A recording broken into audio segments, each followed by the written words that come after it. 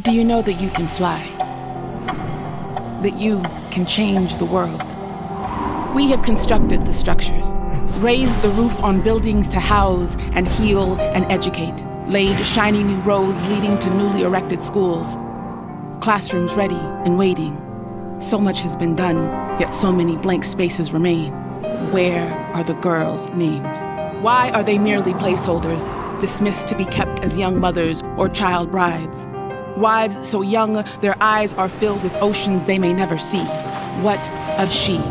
Trapped inches from her own liberation, dutiful to her family, invisible in her community, voice smothered and othered, raised to be thought of as second or not as valuable as her brothers. It's not enough for us to build the rooms.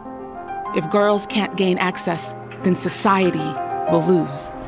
We must know that she is the stairway to growth, and the truth is, we must encourage communities to hear the language girls speak. Give them voice, visibility. Let them believe that they are the key. Show the distance they can travel, what they can achieve when they step out of the shadows and into the light.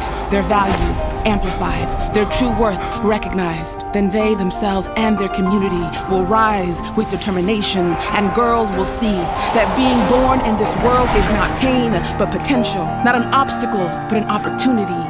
Economies will thrive on their survival and dignity and self respect. Do you know that you are a girl? That this is your effect? Do you know that you can change the world?